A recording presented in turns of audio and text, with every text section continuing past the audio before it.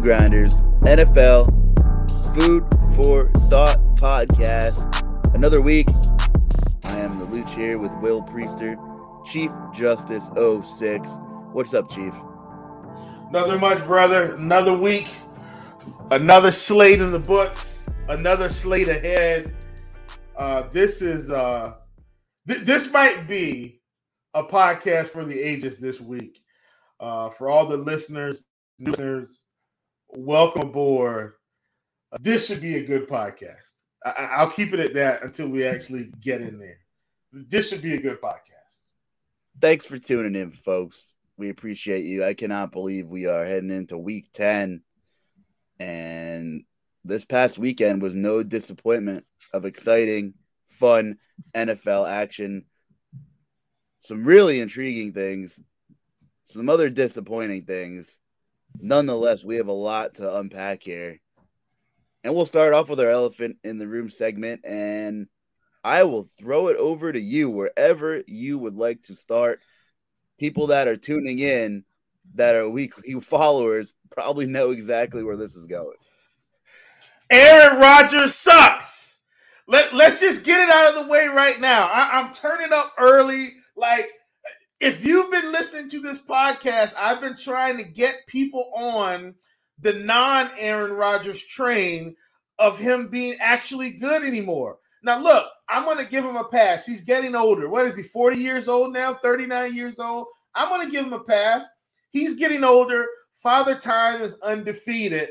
But you can't gripe and complain and whine and say, hey, pay me my $50 million a year, give me what's due, and then go into Detroit of all places and throw interceptions in the red zone back to back, one being a terrible INT, faded away off a back leg to an offensive lineman that was wide open.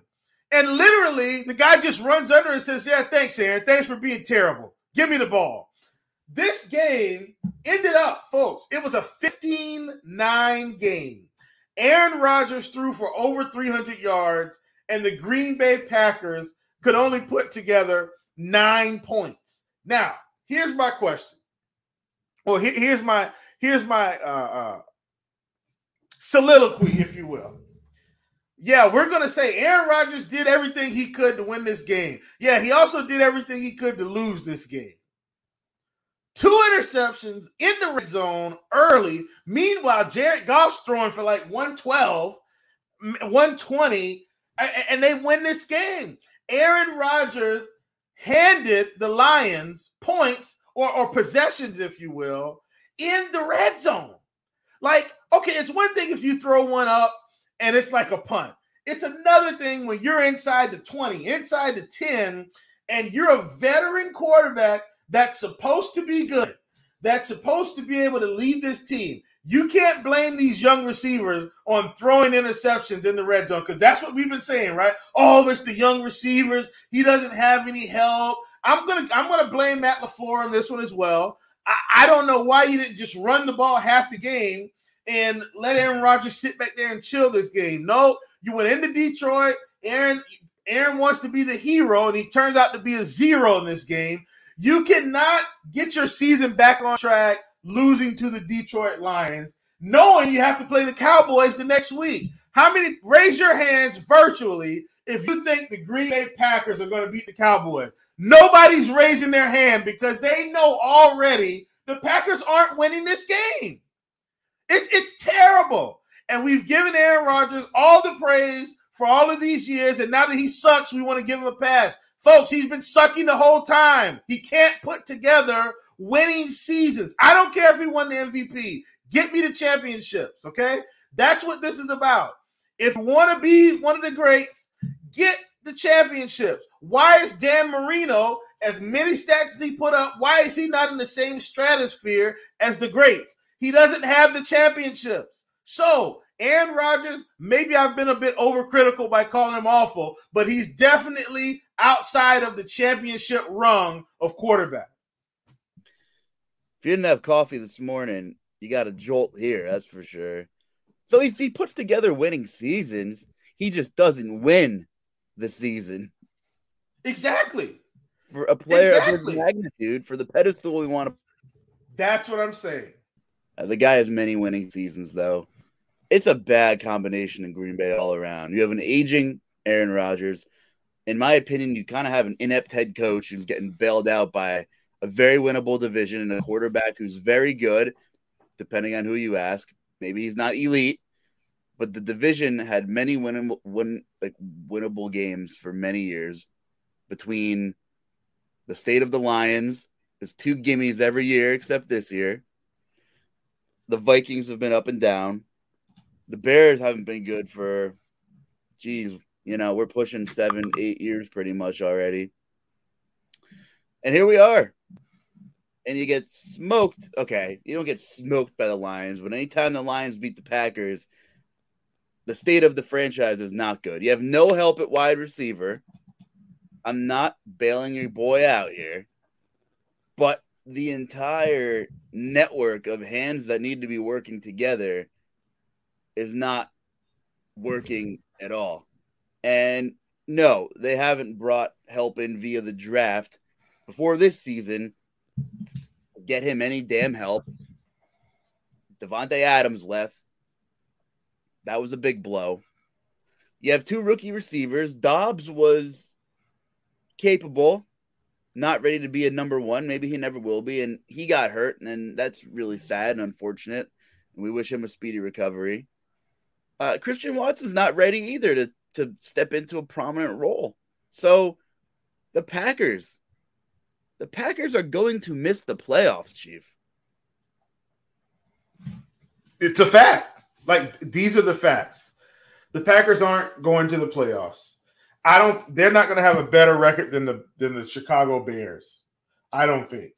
Um, they're definitely not going to have a better record than than the Vikings. Even though the Vikings are about to actually be in a tough stretch of games, to have a better record than the Vikings. And heck, who knows? They can't even beat the Detroit Lions at this point. I, I don't. I don't even think. I think we just have zero expectations for the Packers at this point this season. And let's just leave it at that.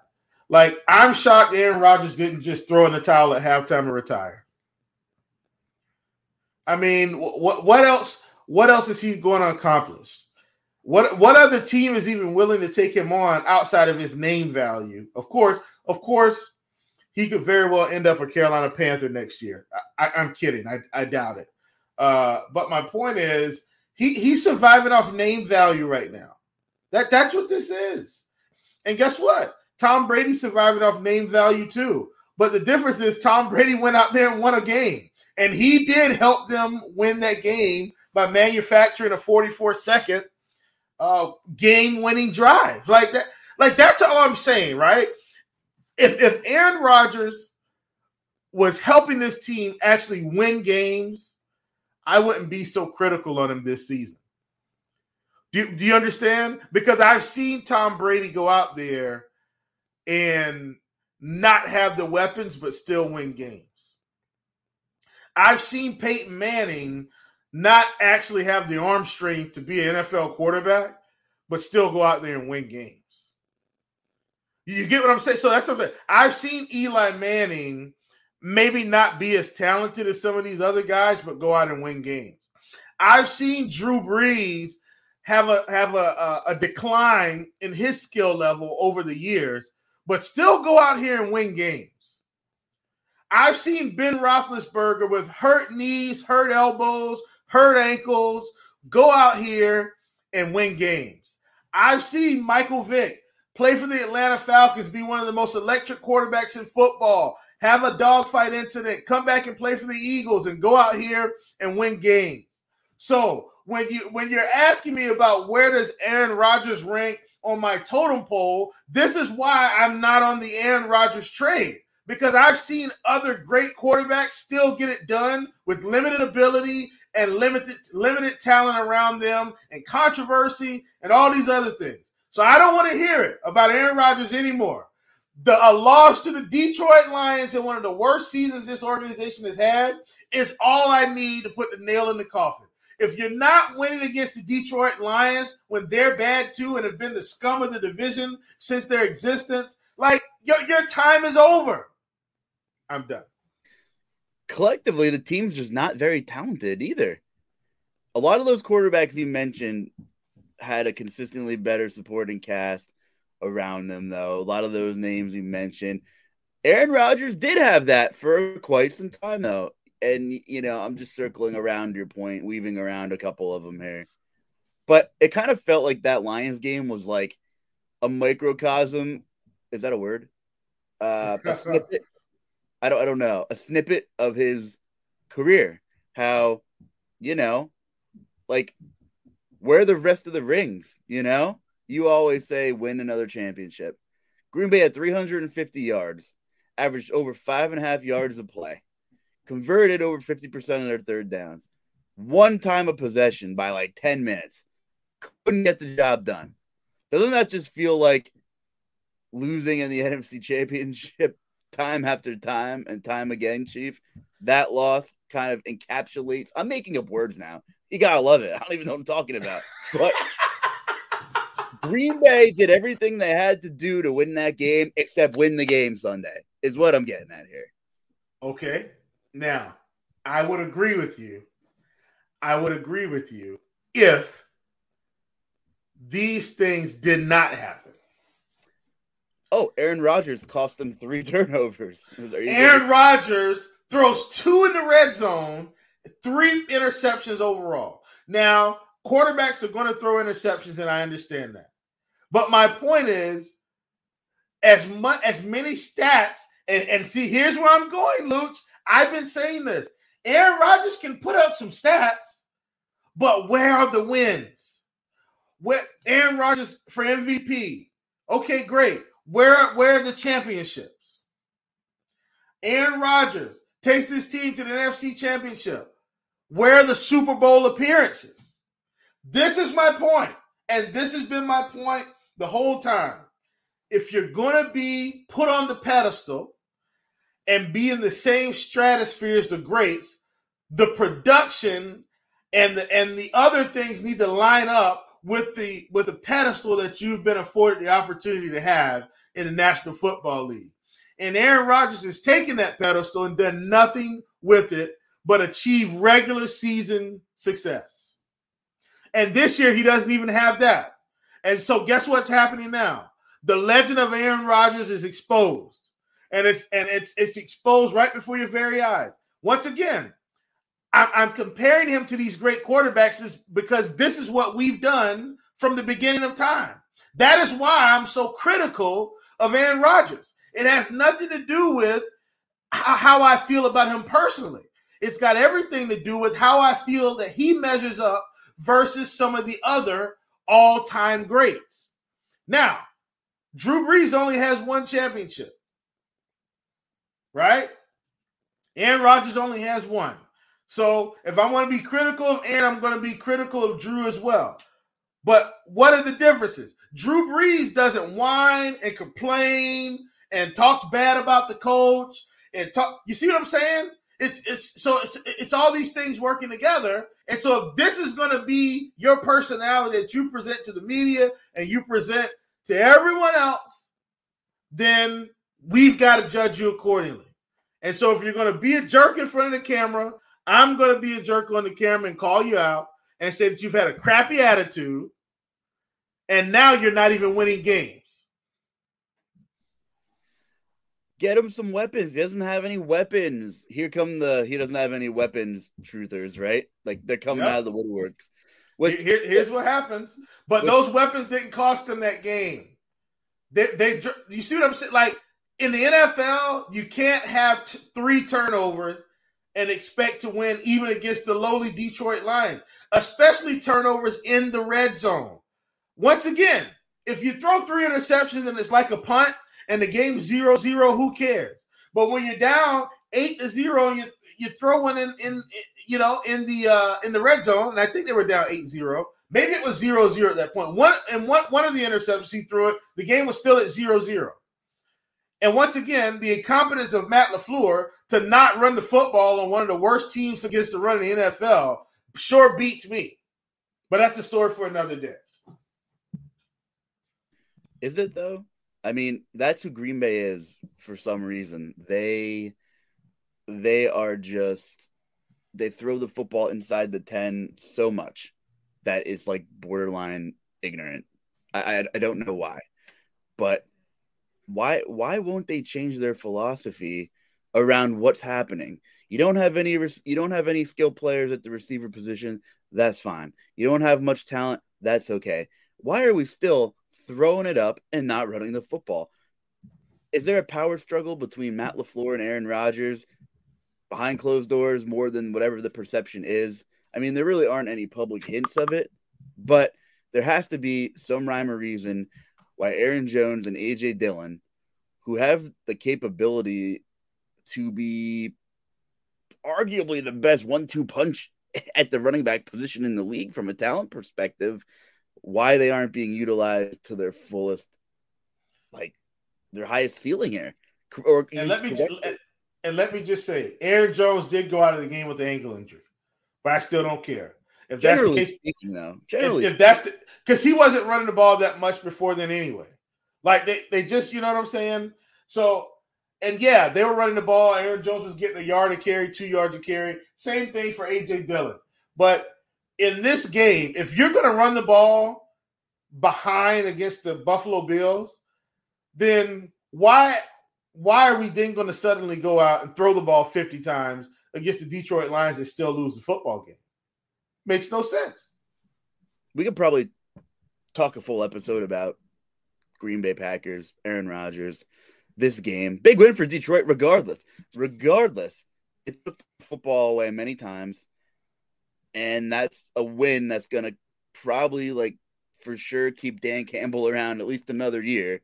And we'll see what kind of work he can do with the Detroit Lions get Aaron Rodgers some skill players. He doesn't have any help. I can I can hear the people screaming already, which segues into my next conversation. Look what happens when you get a guy some help because can we talk about Tua and Justin Fields and what was just a barrage of offense. But let's start with Justin Fields, who has no help and he has no weapons. So he did it his damn self. 170 rushing yards on the ground, couple touchdowns through the air until they have a re solidified coaching staff there, I, I, just I feel for Justin Fields, much like we felt for Mr. Trubisky. Maybe he's not getting the fairest of all shakes, but the Bears have been playing football, better football, quietly the last couple weeks, and Justin Fields is doing a lot with a little, like next to nothing. Nothing against Darnell Mooney. He's not a number one. He's a field stretcher. Nothing against Cole Kmet, right? Serviceable tight end probably still has some upside. He's still very young. But Justin Fields is really impressive. And what a monster fantasy day, by the way. Like total slate breaker. Yeah, I mean, here's the deal. I think, and this is what you have to do, I feel, with young quarterbacks. Don't try to take the square peg and make it fit into a round hole. Right? if it's a square peg, their first season, give them a square hole to stick their square peg in. Right? Like don't don't try to reinvent the wheel for the rookie quarterback in year 1. And so I think what happens is these quarterbacks come in from college, they're used to a certain not only a certain system, right? Not only a certain system, but a certain style of play right? Because th- there is a system, but they have a certain style. So when you watch or watched rather Justin Fields play at Ohio State, you saw certain concepts, right? Under that in that system, and it became a style of play. And you would see him if things broke down. There were certain things he would do to help that team continue to progress and be a, a, a national championship team, right? Okay. So then, why is it if he comes into the NFL, you then try to give him an extreme crash course in a in, in completely pro concepts is what I'm saying, right? So in year one, give him more of what he's comfortable with, so that you can see, okay, first of all, just can he perform at a professional level, right? So don't make it so complicated. Don't just can he perform at a professional level? Okay, so we figured that out. We've checked that box. Two. Now, what is he good at that we can use to our advantage until the other things we need him to do catch up? Right? I firmly believe that the reason the Chicago Bears are a little bit more successful recently in terms of looking better, because that this hasn't translated into a bunch of wins. Okay, so let's, let's just get that out of the way. It's not like they started winning games, but they look better on TV. What is the one thing, Justin? And I think you can answer this. What is the one thing that Justin Fields is doing now that he probably wasn't doing last year or earlier this season more of? Run the damn ball. Running the football. Now, and here's the thing he's a young quarterback still. This is second season. Justin, if it's not there, you have the ability now, right? Get out, get outside, let's stretch some plays. If it's not there, don't take a big hit. Slide, get out of bounds, pick up as many yards you can, but don't take the big hit, right? Don't do it. And if you look at early this season, what was he doing, Luke? Seriously, sitting in the pocket, trying to wait on plays to develop, couldn't throw guys open. And what was he doing? Taking big hits. Just go watch the film. I mean, I, we saw him get crushed on like a Monday night, uh, just trying to sit in the pocket and throw the football when nothing's there. I mean, crushed, crushed. And now what do you see? It's not there. No problem. I'll take off. I'll pick up what I can and we'll keep the change moving. And so now they've gone from an offense that looks complete that looked completely anemic to an offense that can now move the chains a little bit. It's more exciting when Justin Fields gets outside and runs the football when he has to, right? Guess what else that does? Now the defense can't just sit there and tee off. Okay, you can go ahead and blitz if you like, but if you blitz in the wrong place, I'm getting rid of the ball quickly or I'm running out of it. And so now defenses have to play them a bit more honestly. And if he continues to progress, my, my prediction is by year four, he's one of the better quarterbacks in the league. If he continues to progress, that's the caveat. He has double digit rushing attempts in four games this season. Three of them have come in the last four weeks. So there's a how many points have they scored in those games? I don't have it pulled up. Oh no, I got you right here, brother. I got you right here. So this past week, sorry, did I cut you off there, Luke? Please forgive me if I did. I'm so sorry. This past week, the Chicago Bears scored 32 points. 32. That I mean, I, th- I think that's I think that's good against the Cowboys. Now they did take a, a, a bludgeoning uh, against the Cowboys in Dallas, might I add, in Dallas, they scored 29 points.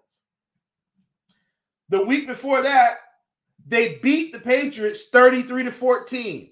Luuch, can, do you hear these scoring numbers now that you're unleashing the quarterback and allowing him to utilize his most valuable skill set against defenses where, where his where he's currently sitting? It's not that he can't throw the ball. I don't think it's anything like that. But right now, his legs are what is going to carry them the rest of the way this season. Not that he's got to use them every play, but when it's available, he's got the green light. 33 points, 29 points, 32 points, Luke. The scoring is there. Now can they pick up the wins? They're one and three in their last three. This week, uh, they get the Detroit Lions. Dare I say, Luke, I'm not expecting the Bears to lose to Detroit at home. The Bears should if the Bears should be able to put up another 30 points this week. And if they do that, guess what's coming down the pipeline later this season? Lucha, are you ready for this? In week 13, the Green Bay Packers come to town on December 4th in Chicago. And I'm telling you right now, if the Bears are continuing to put up points throughout the weeks, it's going to be ugly for Green Bay that game, especially after Aaron Rodgers has come to town and says, I own you. Oh, buddy. People will not forget this when he's got to go to Soldier Field. It's going to be ugly. It's going to be very ugly. And prior to that, just to tie it all together, Green Bay will have the Eagles the week before. Yeah, the there Eagles. are there are plenty of people in Chicago who will not forget the "We Own You" talks. Chicago's the second biggest city in the country, I believe. So plenty of people will oh, remember. Oh, the memories are there. Green Bay has the Titans in week 11. They Listen. have the Cowboys next week. Listen, Green Bay is spiraling out of control, and the Bears are on the upswing. Minnesota is probably going to win this division. The Bears will finish second. I like it. And it's a big step forward for the Bears and Justin Fields. They should be spending a lot of time in the offseason looking at what Greg Roman did with Lamar Jackson to scheme that entire system. I mean, look at Baltimore, Chief. There's no pass catchers in Baltimore. They even shipped out Hollywood Brown. Uh, aside of Mark Andrews, of course. No disrespect to Mark Andrews. I mean, th- that's it. Similar setup in Chicago. I'm not saying Fields is on the Lamar Jackson tier, but he has the skills to kind of replicate the same dimensions that Lamar Jackson brings to an offense. Lamar Jackson's not the most accurate passer in the league, but he throws a decent ball. He gets out of the pocket and he keeps defenses guessing every play. And it's a nightmare for defensive coordinators. Justin Fields has that skill set, and that is a division where there's not a lot of defense to be played. So I think he is set up for some success. and I think Justin Fields can throw better than Lamar long term. Yeah. Long term. Here's what I will say. Here's where I think I will know for sure where the Bears organization is headed after this season. Do they go out and get him an ultimate weapon? Like, I, am using this as an example because I think we've seen this in recent years. Young quarterback needs an ultimate weapon. Hurts, they go and get AJ Brown, right? And we see what, what happened there. Tua, they already had Jalen, but they go and get Tyreek Hill. And look at this offense now. They don't have some stellar running back, similar to the Bears. But look at they went and got Tyreek Hill, and all of a sudden, this offense looks, I mean, Luke, is pretty unstoppable. Doesn't mean they're going to win game, but you can't really stop the offense with Tua, Waddle, and uh, and Hill. Okay, I'm going to give you another one. This is going a little further back, and I think I've talked about this before, so please bear with me, folks. I'm on repeat mode here. The Bills go and get Stefon Diggs, right? When Josh Allen's a young quarterback and need, needs a safety blanket, needs success, need, needs a guy, right? They go out, they get Stefon Diggs, and look at look at how the team kind of begins to turn the corner here. Yeah, this one hasn't really worked out but the Arizona Cardinals. I, I, know. I know. It has it has worked out for Hopkins. His numbers haven't really taken that big of a dip, right? But the team just hasn't been able to put together wins. But I'm with you. Like this is what I'm talking about. When you've got a young quarterback, you're going to do it two ways. You're going to get the best receiver you can in the draft, or you're going to go out and get a guy that's on the waiver wire. Now, here's what I will say, and I'm talking about this. This is more of a next season call the Cleveland Browns are going to be a really tough out when Deshaun Watson is at quarterback because going to get Amari Cooper was their move. Now, Amari still young enough to contribute, and I think he gets better with Deshaun Watson there, similar to how Cooks would have been the guy or any other number one receiver. I'm expecting Amari Cooper to put up monster numbers down the stretch as Watson gets acclimated into the offense. I'm expecting him to be rusty the first two weeks, Luke. I'm not expecting him to come out like a world beater, but I'm saying next season, when Watson gets to start fresh, Amari Cooper, if he comes out under a thousand yards next season, go ahead and hammer that over as soon as it hits the books because it's coming. It is coming. And so that's what I'm saying. Hasn't worked out for the Raiders going to get uh going to get Davante. Davante's numbers have suffered a little because of these stinker games he's had. But it, but outside of the stinkers, man, he's put up monster games. He had another one this past week. Like you got to go and get the guy, and and I think if you do that, if they do that with the Bears, they did get Chase Claypool. Uh, I, I think that was interesting. I think it's good for him because Chase is like a gadget guy. uh, you know, a, a much stronger receiver than Mooney. Won't be flying down the field, but I think he's good for them if they go and get a true number one. There was over 700 yards of offense in that game. And what does Miami have that Chicago doesn't, though? And this isn't any Bears coaching slander, but Mike McDaniel is a freaking genius. Creativity, trust. He has that locker room. Young head coach, under 40 years old, which is the newer trend. Pretty analytical. He's got the swagger. He's a little cocky. Uh, he's confident, but the players play for him and they do have a good bond, it seems.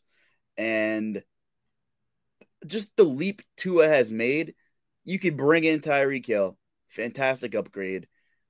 But all the other things that McDaniel and his coaching staff have been able to clean up with Tua, the, the foot the footwork, you know, he's a very unorthodox, has a very unorthodox style. Everything about Tua is not textbook at all.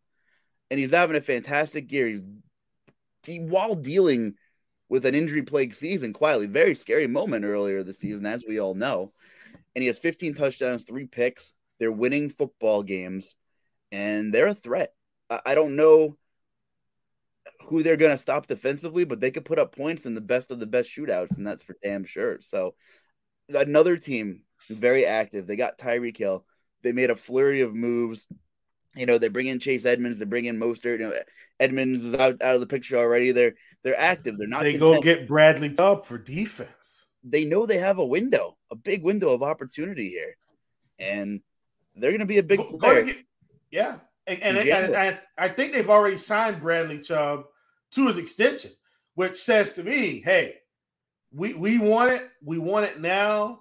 The Jets losing to the Bills, which is another thing we can we can talk about briefly. The Jets they, losing. They won, bud. No, no. I mean, I'm sorry. I mean the Bills losing to the Jets. Okay, okay. Me. Sorry. Thank you for the correction. sorry, listeners.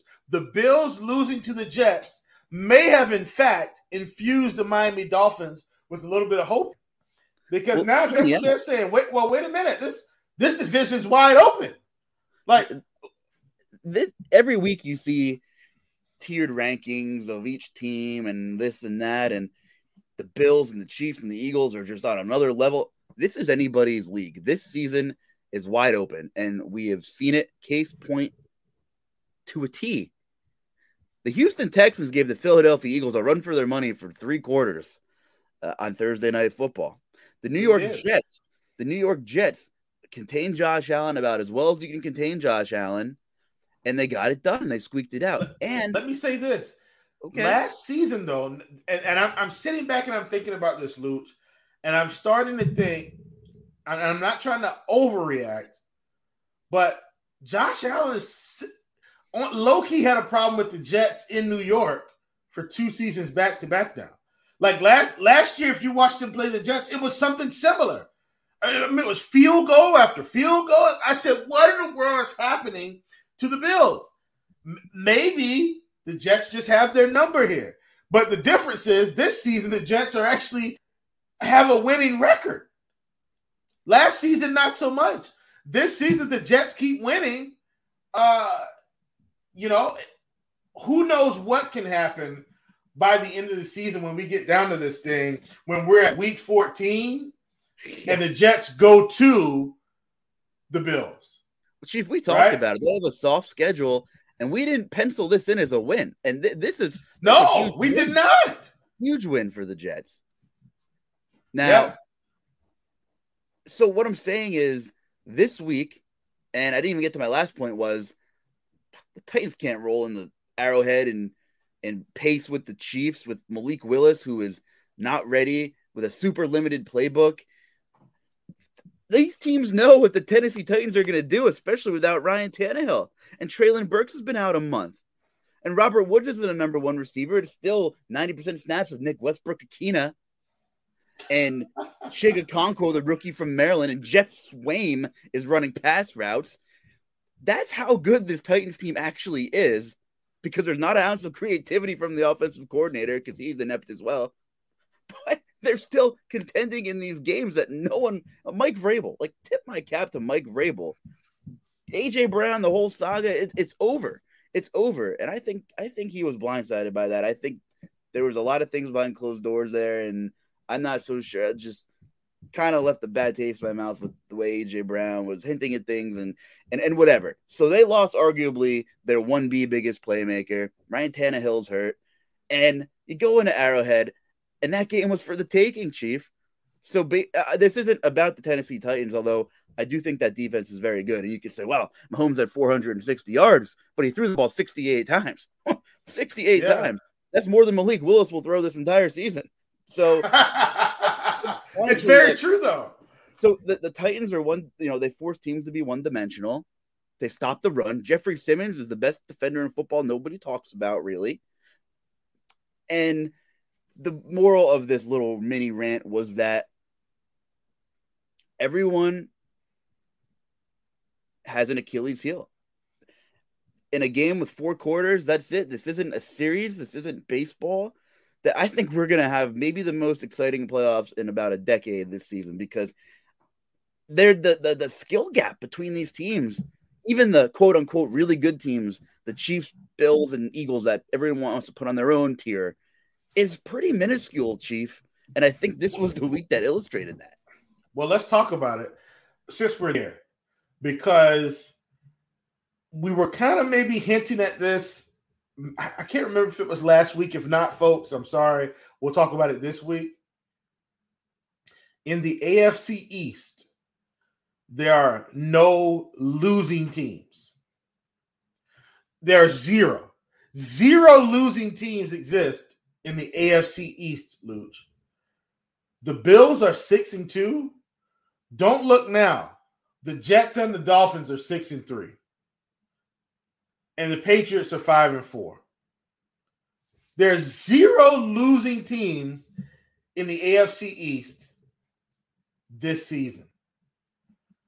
Do you know who else has zero losing teams in their football conference, Luuch? By chance. Right off the top end.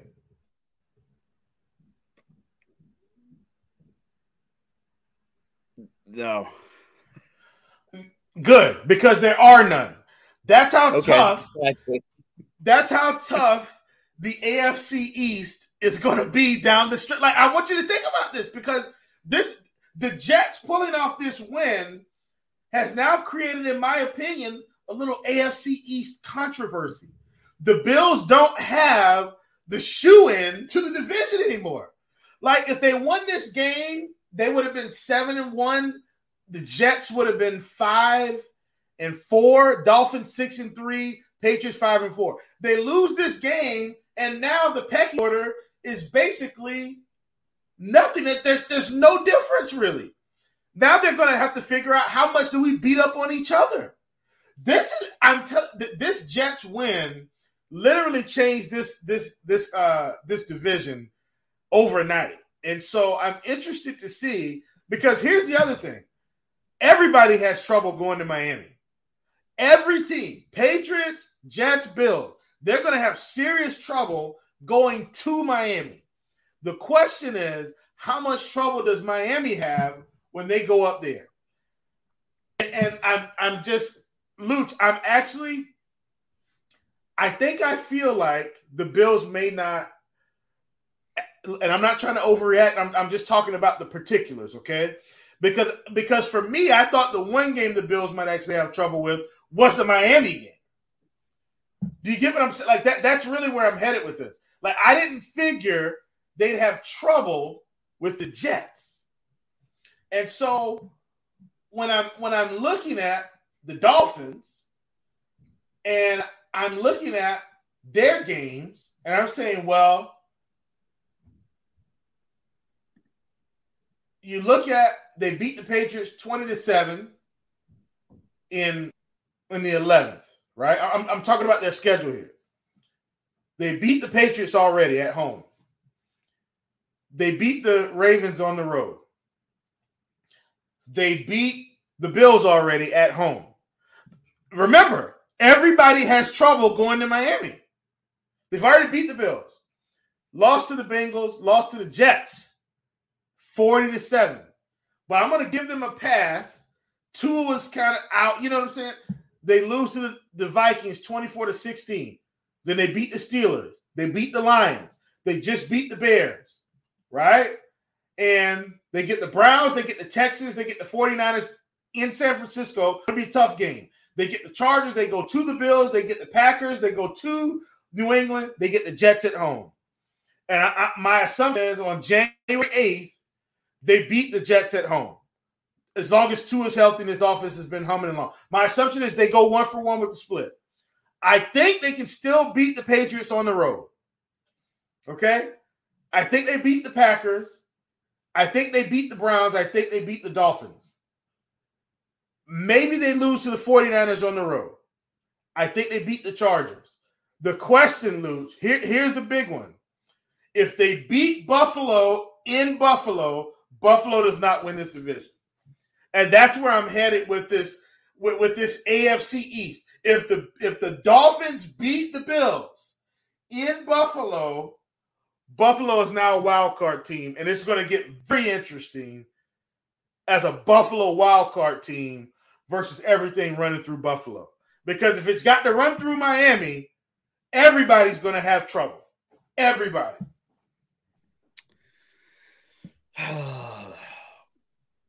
Isn't this crazy? There's going to be two to three very good football teams coming out of that division that nobody's going to want any part of. Nobody is going to want any part of any of those teams. Not. It is. It is crazy. You're. You're right. I mean, uh, it's insane, really. Like, because really, what I'm thinking about, Luke, I'm sorry, and I know we got from this from the AFC East, but what I'm thinking about is where this division has come from. It used to be the Patriots, and the Patriots just kind of beat up on everybody. And even if the Patriots didn't win a lot of out of conference games, they were pretty much going to run through the division and head into the playoffs and see what happened. That now everything's got to run through the AFC East almost. It's insane.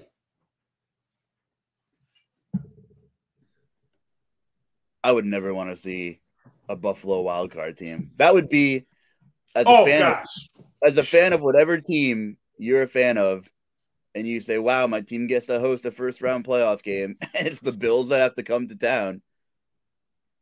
That wouldn't sit well. well, Luuch, my last thing about the AFC East is this: we've really boosted up the NFC East because the Eagles, the Cowboys, and the Giants. The Commanders are one game under 500.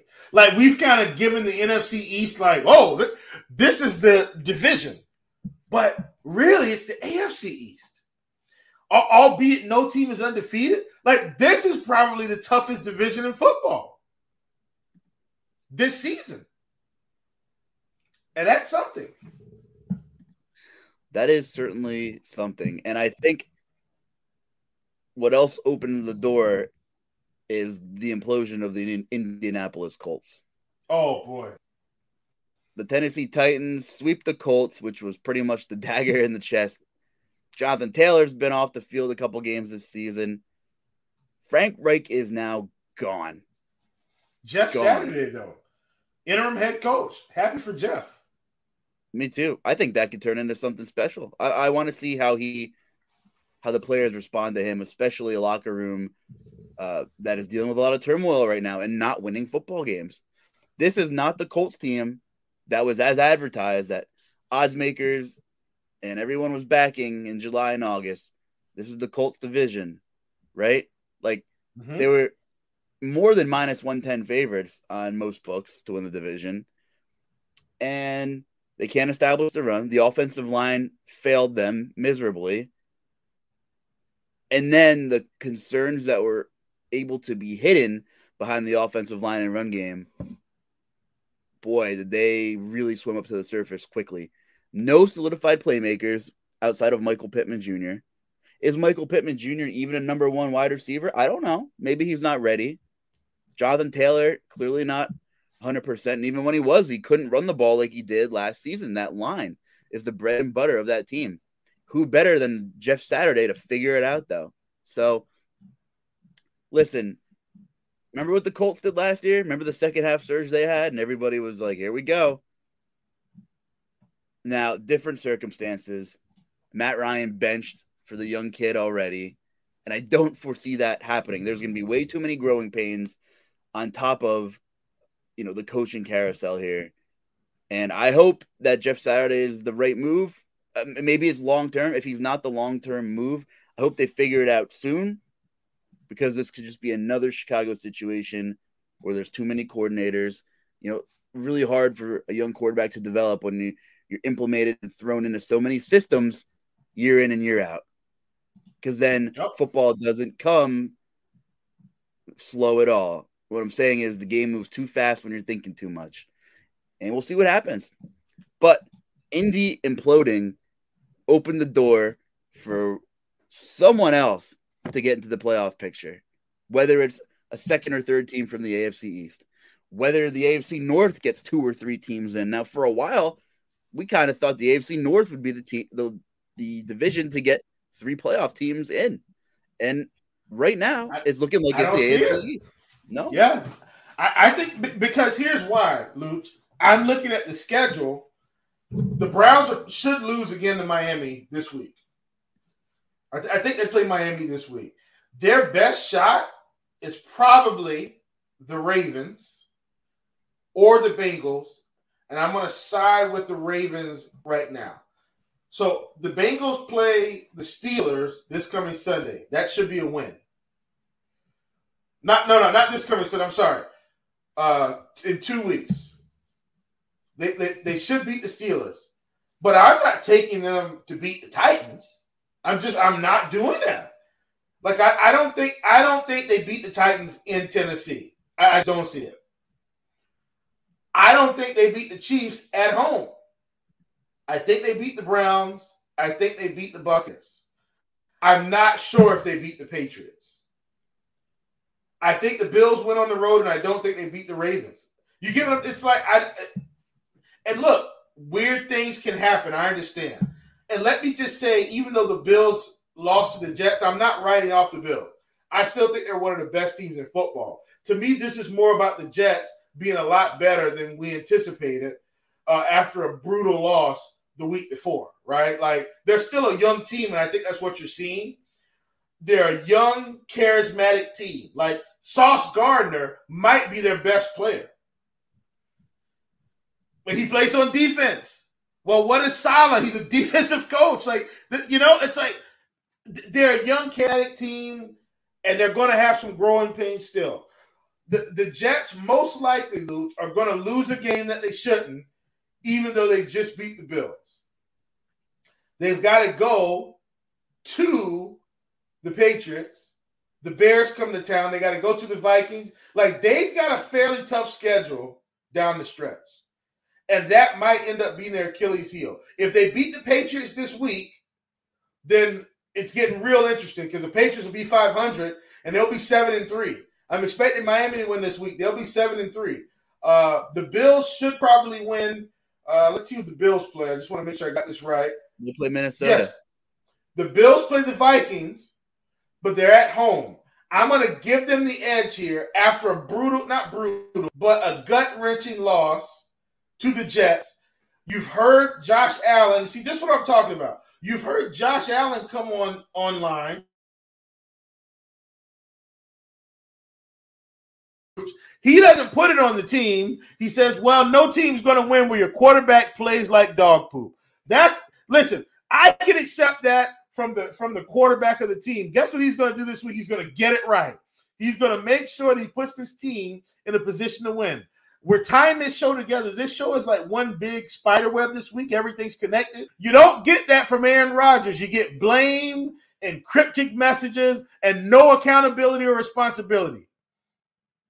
Am I right or am I right? I'm freaking right. You're right. So I'm thinking Josh Allen comes out this week. They've got the Vikings, another tough test. And I think they win this game just because they're going to ensure. It's going to be i think it's very uncomfortable in that locker room this week and not in a not in a bad way in a hey let's go out and take care of business type way. No fun no games. Let's work. Let's put our heads down. Let's win this game and get back on track. All right luke i'm done. Well, let's look ahead and we can talk about that game. We're gonna learn a lot about the Minnesota Vikings and their grittiness.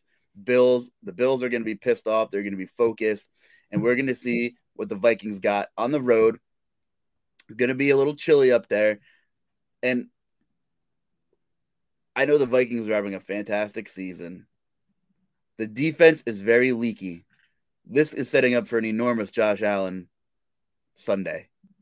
Enormous day. That, that that's my call. I think they win by 10. Uh, the Vikings are top 10 friendliest in passing, uh, successful passing plays. They're also top 10.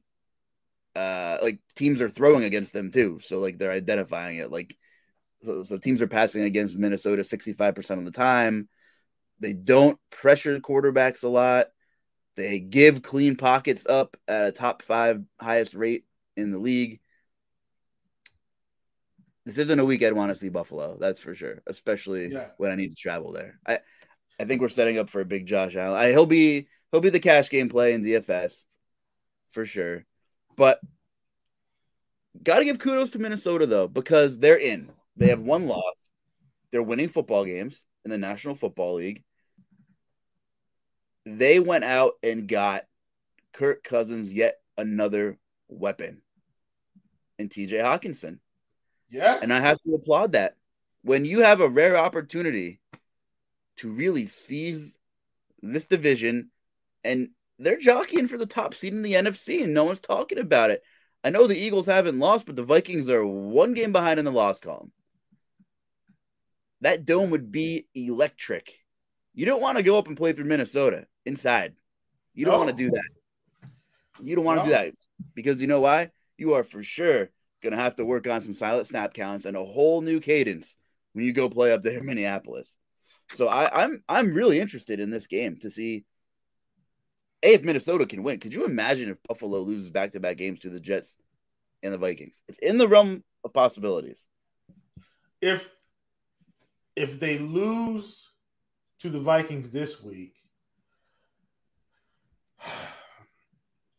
they, they could still be on track if they crush the rest of the division. But now there's no room for error. Like they can't lose any division games. It, man, I, that that's a good one, Jay. If if they lost to the Vikings this week, the media would probably think this team is off the rails, which I wouldn't agree with. But I don't. I'm, I'm not expecting them to lose this week for what it's worth. For what it's worth. They are seven and a half point favorites, and I think that's a fair number. And for the record, I don't think they lose. I think they win. I think they win by ten plus. But I do think the Vikings can keep up, which is the difference. Like to me, that's the big difference here. Like if they score 35 points, the Vikings can score 28 points. Like this team can score points. Like that that so to me, that's the big difference. It it does Josh Allen slip up with another costly turnover at the wrong time and and open the door for the Vikings and say, whoa, wait a minute, we we got a big shot here to win. If if the Vikings win this week, like people might start calling, you know, I, you might want to go out and get them on uh on the books for some Super Bowl odds.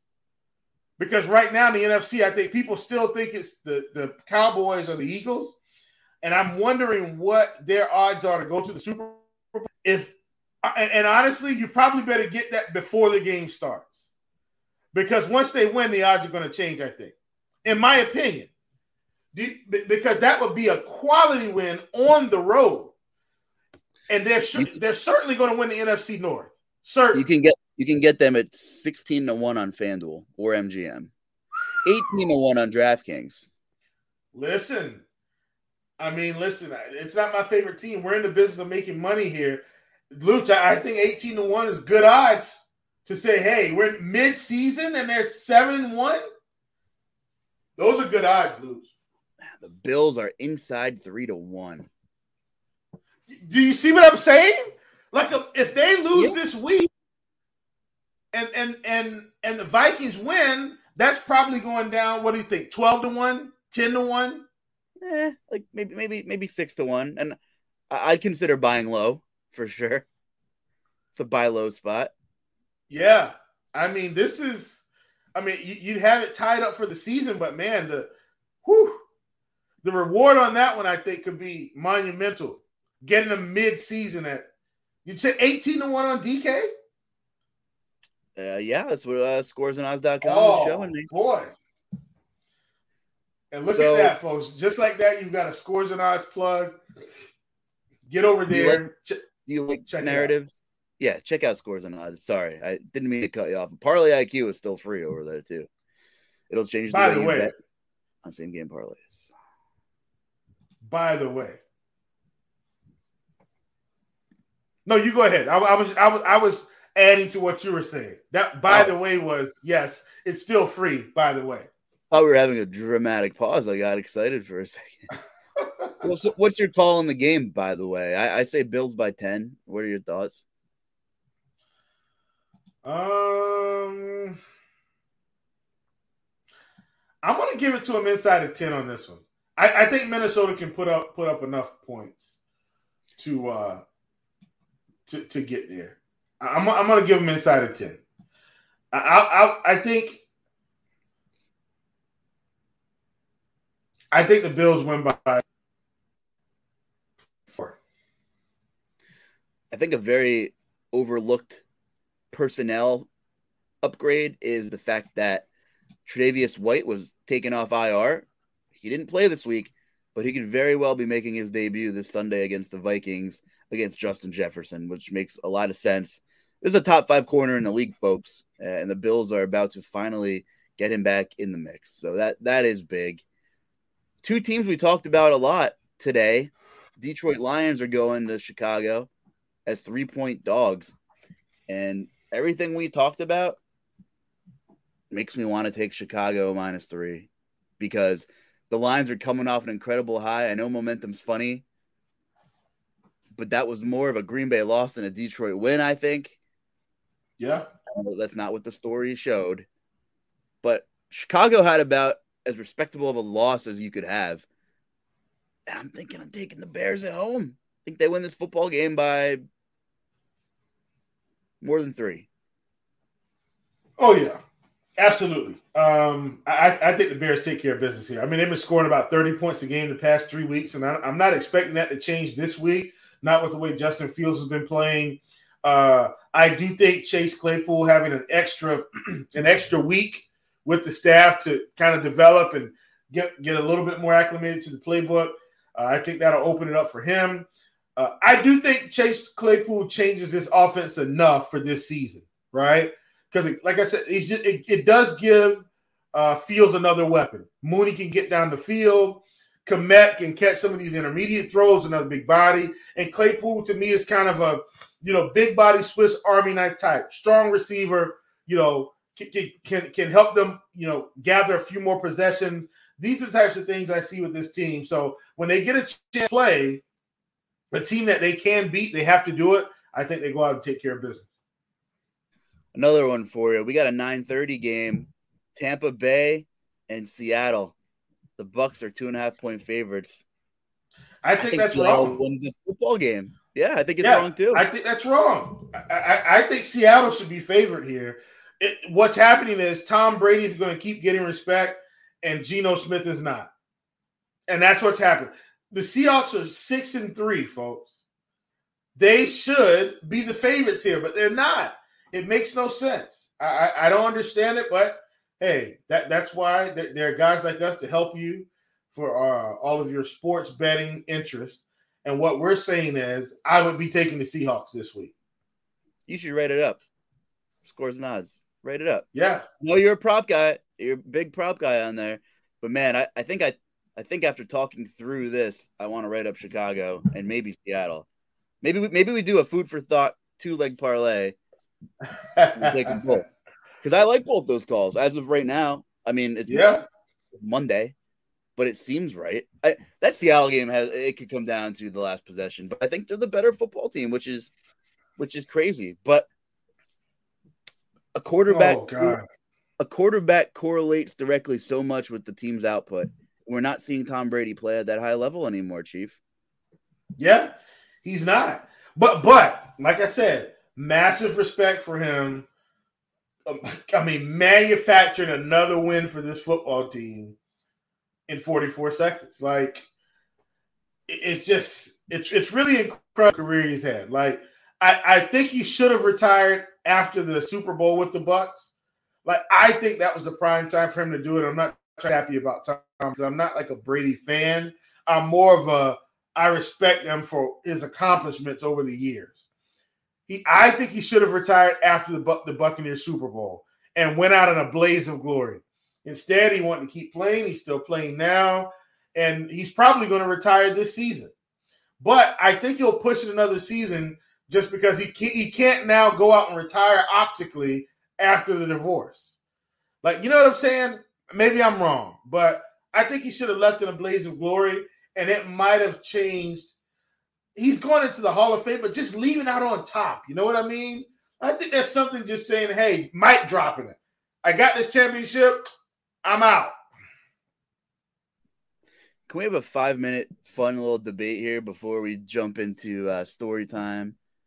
Yeah. And GP, GPP food of the day because you said the word Hall of Fame, and I had some tabs pulled up here because Amari Cooper was a name that I cannot believe that he's you know 28, 29 years old, and I was looking at Mike Evans as well.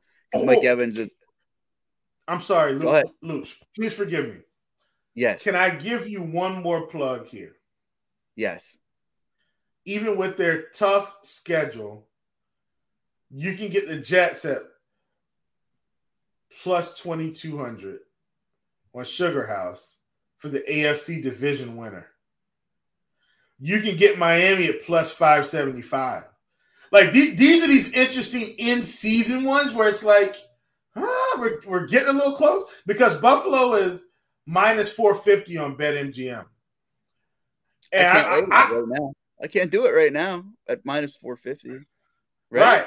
I, right. you can. I'm here to tell you folks that getting a little something in on Jets plus 2200 and Dolphins plus 575 for the AFC East division winner, I, I think those odds are in our favor.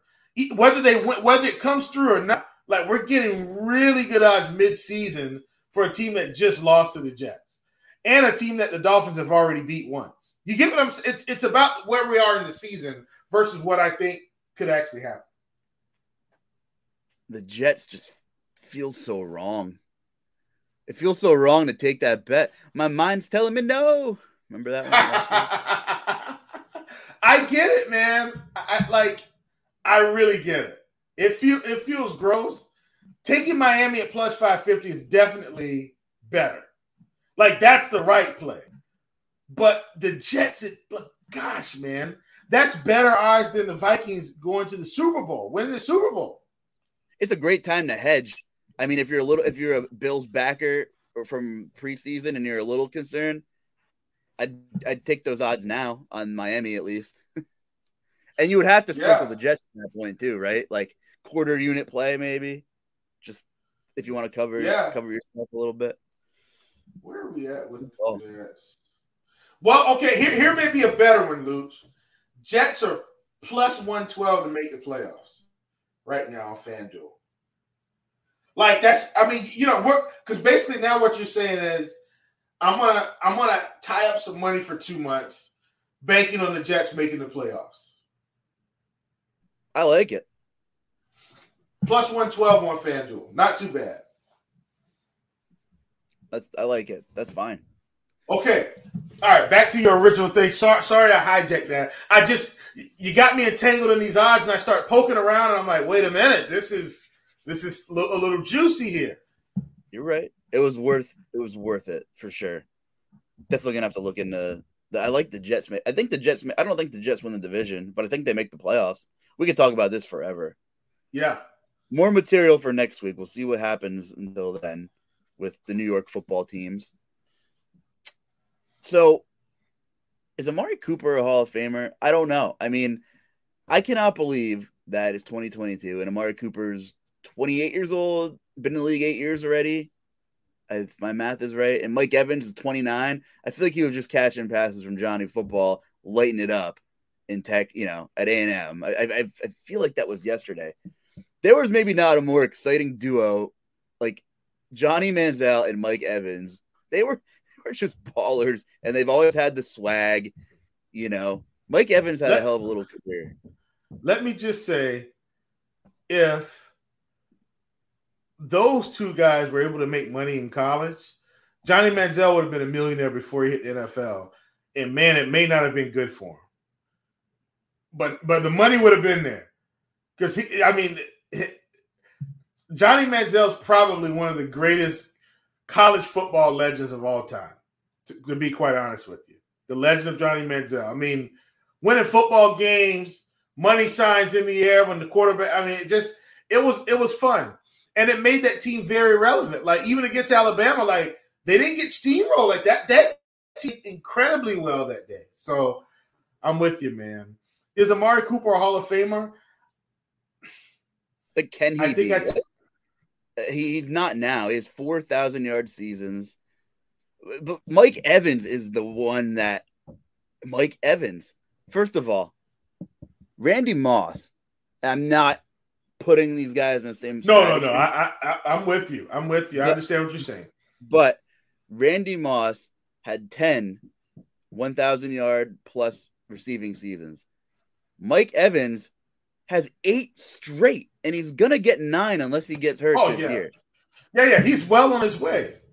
Well But- on his way. but- what the hell's a thousand yards anymore in this era of football? So at what point, what point do we gradually stop making a thousand yard seasons look sexy because they're really not that impressive anymore? Because everyone except the damn Titans throws football. The Titans are the square peg trying to go in the round hole in this in this league. I still think there's value in it, considering like you got to be over a thousand if you're the number one guy.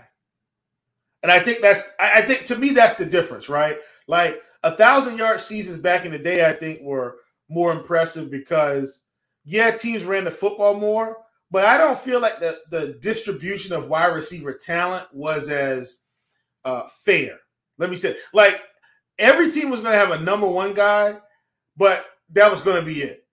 Like you'd have Randy Moss, and then you have you know these other guys. Like of course the Patriots, I know they had Troy Brown, they had some like. Don't get me wrong, I understand, but I'm saying generally speaking, you weren't going to see two guys that could probably be number ones. And to me, that's the difference in today's NFL. When you look at the Dolphins, you've got Tyreek Hill and you've got Waddle. Both can be number ones, but both being on the team makes them so hard to stop. So one is open, the other's open, the other's open. You know what I mean? When Amari was in Dallas and he had CeeDee Lamb there, then it's like, okay, pick your poison. What who do you want to stop? Let's go back a little bit further when you have uh I mean, and, and look, th- this guy's crazy, okay? Don't get me wrong. But you have Antonio Brown and Juju. Like what like who are you who are you gonna stop today? You know what I It's like when when the league is set up like that, the, the, the Bengals, they've got Boyd, Chase, and Tee Higgins. It's it's it's it's really tough sledding. You've got with the Vikings, and, and yeah, Adam Thielen's gotten a little older now. He used to be faster, he used to be better, of course. But Thielen and Jefferson, and you go out to the Chargers. Keenan Allen's getting older, but you had Allen and Williams. They're both hurt. You know, you go to San Francisco. You've got Aiyuk and Deebo Samuel, and now you've got to stop Christian McCaffrey. You so the more we add this up, you go to Buffalo. You've got Gabe Davis, who's kind of a big outside threat. You've got Stefon Diggs. So all these teams now have these guys that could be a number one on another team, but they better as one A, one B, or a strong one, and then like a lesser one. And and that's where I think today's NFL is going, which is why I do still think a thousand yards is is still good. But typically, the number one is going to go for fourteen hundred now. The guy may go for eight, nine, a thousand. What we're seeing in Miami, I'm actually hoping Tyreek Hill hits the two thousand mark this year. That that's that's what I want to see. If Tyreek Hill hits two thousand yards, wow. And and I, and I think if he's close down the stretch, Luke, if he's anywhere in striking distance, let's say the last game of the season, he's at like 1842. You better believe they're going to try to get him 2,000 yards that game. You better believe it. They're, they're going to run screen plays. They're going to run out routes. They're going to do whatever they can to get him 2,000. But I, am with you. Um, I, I'm with you. I'm not with you. I still think a thousand yards is, is big, but I think it's, it's because, good. but I think it's because teams have multiple guys now, and it's like, man, pick your poison. Let me ask you this: If Mike Evans never played another snap, is he a Hall of Famer? I gotta go with yes. It doesn't feel like like he is because he, he doesn't have the name value, right? He, he's Mike Evans, but he's not Michael Irvin. He's not Ocho Cinco. He's not, not Michael Jordan. How many Michael? Right. He's not. He's not on top of the Michael list. Not not. He's not a Michael. He's yeah, he's Michael. He, sounds he's, like he's in trouble. He's not in trouble. Yeah, he's a bland on paper, right? But think about it. He doesn't get in much trouble. He's, he's not like he's right. He's a right. He's like the the like he's the best receiver that's not a diva at a diva position, and it's like an anomaly. You, you gotta love it. I mean, yeah, he's gonna have absolutely. He, he should have nine straight 1,000 yard seasons. He has 78 career touchdowns. Here, here's a good uh, trivia. But but guess what? He's also got that championship, buddy. He's he got he's got he's got the ring, and he's, got he's continued to be productive. He goes into the Hall of Fame, and, and the only reason we'll disagree is because his name is Mike Evans. He's not flashy, right? He's not that guy. And really, it's the same thing for Amari Cooper. Amari Cooper's not flashy either. But I, I think his season takes off next season, Luke. That, that's when I think his season, his career rejuvenates. I think if he gets Deshaun Watson for two or three seasons and he's healthy, he's got a thousand yards every year, guaranteed. Mike Evans is number two on the active NFL receiving touchdown list. Who's number one? Hold on, hold on. Let, let me go through it. In my mind, it's. I'll give I'll give and, you time. I'm not going to tell I, you. No, no, I'm, I'm going to put it. I'm, I'm going between two guys that are active. It's it's Diggs or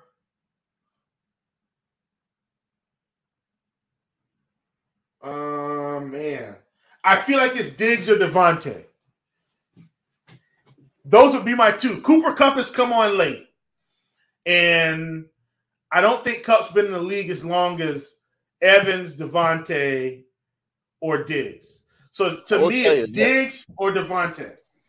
Really good guesses. Maybe one's right, but before I make you pick your final guess, and I'll give the audience another minute or two. There's three guys in this top twenty that I would give you 10 guesses and you probably wouldn't think of him, but then you're like, oh, yeah, like he's been around.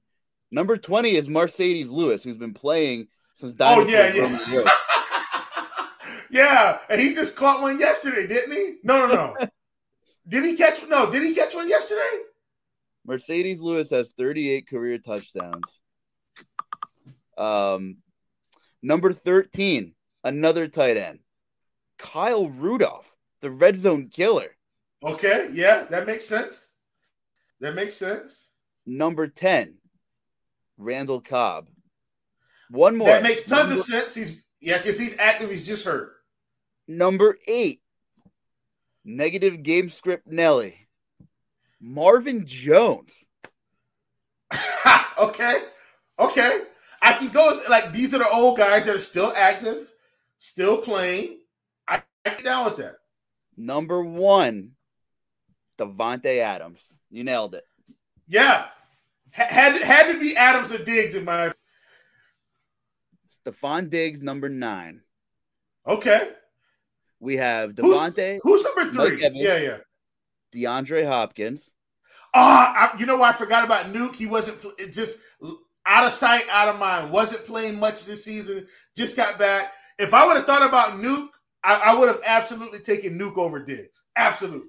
I'll run through the top 10 because I need to stop talking so much because we have to get out of here soon. Number four, yeah. AJ Green. Number okay. five, yeah. Travis Kelce. Yep. Six is Julio Jones. Seven, Tyreek Hill. Marvin Jones at eight. Diggs at nine. Wait a minute. What's the what's the gap between Tyreek and Julio? Julio is three ahead of Tyreek. Oh, Julio's dead. Julio's dead. Like Julio may not catch another touchdown this season, and Tyreek's on the upswing. Like if Tyreek, how many more years do you think? Last thing, because we got to get out, like you said. How many more years do you think Tyreek has? I think he's got at least another five, as long as he's not completely hurt. Five or six, like really good seasons because of his speed. Three to five, yeah. Okay, so you think so? Out of the five, I'm going to say he catches at least another 24 touchdowns. I'm going to give him eight a season, and I think that's very reasonable. I agree. Yeah, I agree. Anyway, number 11 is Amari Cooper. so another guy we just talked about. Yeah. On the yeah.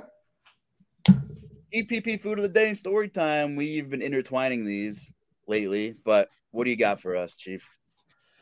Uh well, story time. It's listen, it's it's it's basketball season. Uh, my son's back in the saddle, and I, th- I don't know if I talked about this last week, but I'm excited. He's playing varsity this year. He's in tenth grade, and uh, I was talking to him the other day, and I'm like, "Hey man, you know how's practice going?" He's like, "Hey, it's going fine." I said, "So, uh, you know, what's it looking like?" He's like, "Man, I'm I'm running with the ones." I said, "Oh." I said, "Okay." Uh, you know, so you know, not saying it's official yet. He's going to start, obviously, but you know, him running with the ones as a, as a sophomore, I think, is a big deal. And so I'm hoping that he continues to improve, get better. I don't think there's going to be anybody harder on than I am, just to help him keep keep himself together mentally and uh, to you know to just help him stay stay stable mentally for the season that's ahead. Because uh, this is first year playing varsity, obviously, and so I've already told him, look, man, different speed, different level of competition. Got to be focused. Got to got to be prepared mentally. Don't go out there and make a bunch of mistakes, and you'll be fine. I'm parlaying that, Luuch, into the food of the day because with sports comes concessions. And let me just say that one of my favorite, my absolute favorite things to grab at any game are chili cheese fries, my man. My gosh. Uh, I love chili cheese fries, and I don't want I don't want cheddar cheese melted over my fries, Luke. I want chili and the soft nacho cheese. Like that's what I want. I want that that that salty. I want to eat my fries with a fork, right? I want the ooey gooey goodness of the cheese and the chili coming together, and the fries get a little soggy. Come on, you guys know what I'm talking about. I don't want cheddar cheese where I got to pull it and all the cheddar comes off in one fry, and you're like, now I just got fries again. There's no cheese. I want cheese sauce. I want chili. Can't wait to grab chili cheese fries from wherever your favorite concession stand is. Folks, it's going to be glorious.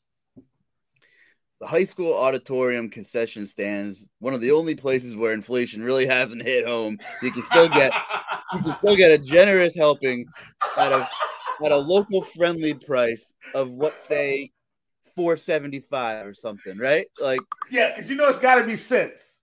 The, the, the local concession rate? stands. Oh, they need change. The high schools, the middle schools, they'll nickel and dime you a little bit just to get that odd number because they need change in their drawer, right? But Oh, what's the going man. rate for Philly cheese fries nowadays? And hey, let us know. Please, guys, let it tag this podcast if you're listening. We want to know this. What is the going rate for your local high school concession chili cheese fries? Please, please tag us with this. I will let you guys know next week because games are coming up now. He's got a game tomorrow, actually.